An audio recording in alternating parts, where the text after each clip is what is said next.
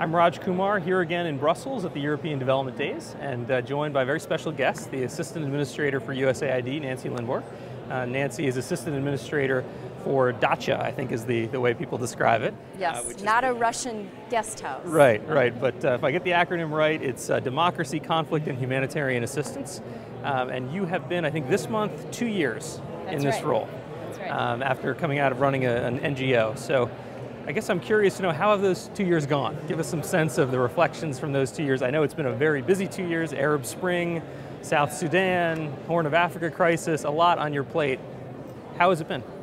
Um, well, that was a good list. Um, it's been a, a, wild, hectic time, um, but I think filled with this, with a lot of energy. I mean, AID right now has um, very, very positive energy in terms of tackling some of these issues with some new approaches.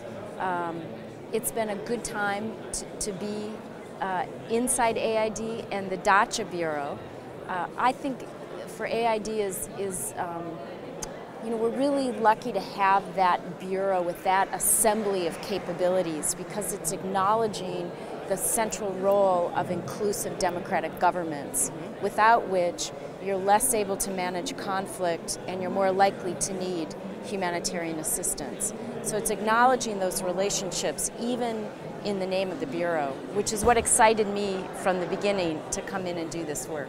Sure. And I know you're here today talking about this term resilience, which seems to have taken over. It's ubiquitous now. Uh, I guess we're in a world where there's more conflicts, uh, we've got climate change, there seems to be more natural disasters, you got rapid urbanization, all kinds of things are happening at once. Right. Um, resilience, uh, tell us a little bit about what, what you think it means. What does it mean to you? Um, and what does it mean now for the agency to be adopting a resilience-based approach? So, you know, one of the first things I did when I came to Washington in 1996 was attend a meeting at the Brookings Institute called Closing the Gap, which was everybody coming around and saying, how do we knit together more effectively the humanitarian and development actions and activities? So, this is not a new problem. What I'm very excited about is that I think the resilience agenda has uh, given us new energy and a different tact to address that problem of not waiting until after a crisis hits to respond. And then typically we rush with humanitarian assistance, and then at the conclusion of that, it all goes silent. And the development actions may happen over here in another part of the same country. So, what the resilience agenda does is say we have got to have more focus on prevention. And we've got to make sure that all that good work that we do during the emergency side, with, with substantial benefits that we're seeing, and we move the needle, that it connects up to that longer term. So we, we've done good work at maybe the household and the community level, but it's got to connect up to the systems level through the connection with development there is international momentum right now, fueled by the Horn of Africa and the Sahel, which were devastating crises, and everybody agreed we need to do different, we need to do business differently. Mm -hmm. To me, it seems like getting that integrated strategy is a key part. There does seem to be a lot of momentum behind it.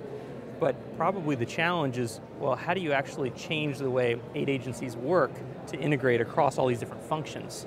Um, and I imagine that's something you're going to be tackling with this new policy on resilience that USAID is putting out. And, and you mentioned in a panel today that there are going to be HR and procurement implications, that there's really you know, nitty gritty details that matter a lot to getting this right. I thought maybe you could expand on that a little bit. What, what, what might we see out of USAID on this? So, so USAID is putting together program and policy guidance that will be forthcoming um, in the next few weeks. Uh, this has been an all-agency effort. This has uh, really, I think, moved us forward on breaking down these stovepipes, these silos of excellence, and understanding that these challenges that we're facing um, when uh, development gains can be lost if you don't pay attention to the shocks and stresses. This, this, is, this is an all sector issue and it is an interdependent set of solutions. So we put together joint planning cells um, in Nairobi for the Horn of Africa and in Dakar for Sahel. So these are relief and development people sitting together around the table. I know it sounds like it should be the norm, right. But it isn't. These are different cultures, different tempos, different planning approaches. By bringing the teams together, they used a, an evidence basis to develop a joint analysis. What is the key driver of vulnerability here? What are the ways that we need to move this forward? And come up with a, a strategy that brings together both relief and development capabilities. So we're not, we're not losing that fast, flexible, life-saving assistance, and we're not encompassing all of development, but we're bringing them together uh, through layering, through sequencing, and through integrating our programming. And in the Horn of Africa, the plan that was produced says that by 2017, we will directly benefit 10 million people and move a million people off the emergency caseload for the next time a disaster hits in a focused geographic area in the drylands of Kenya and Ethiopia. That's a big goal. It's a big goal. Yeah. It's a big goal. And we understand that we need to do that in partnership with the other international development partners mm-hmm. and map it against country plans. Okay. And that's exactly one of the things I was going to ask you, which is you came out of a major NGO working in these areas. What will this mean, this new strategy for your NGO partners? How might it affect the way they work on these resilience issues and on relief? Well, interesting, I think a lot of the, the NGO partners have moved ahead with their own resilience approaches. There's nothing like being at the front lines of a crisis and then seeing it again yeah. to increase your conviction that we have to do things differently.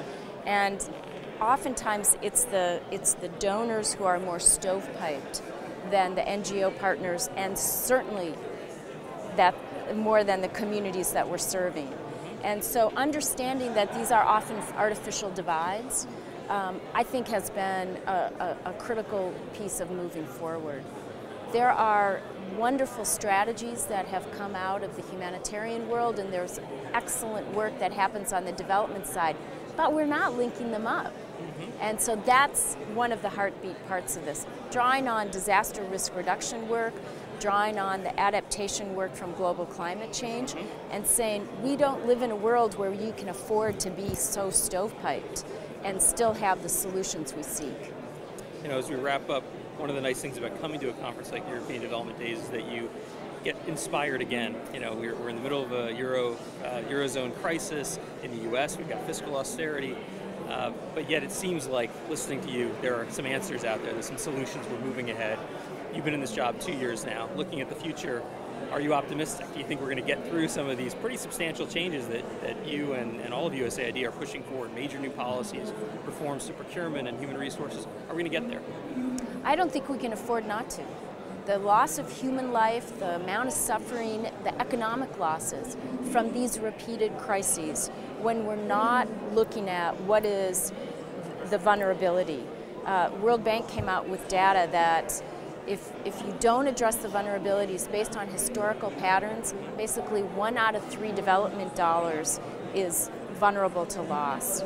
Um, we know that in the Horn of Africa, uh, somewhere in the neighborhood of $10 billion was um, lost from the Kenyan economy, and that, that's in addition to the, the huge amounts of humanitarian assistance that went in.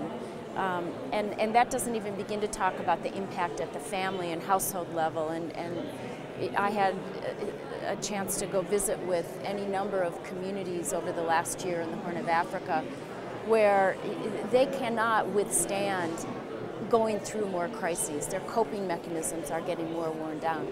We don't, I think, have an alternative. We've got to get better at doing this, and the data is very persuasive for why. Sure. And in an era where cost effectiveness, value for money matters, you can make a real case for this.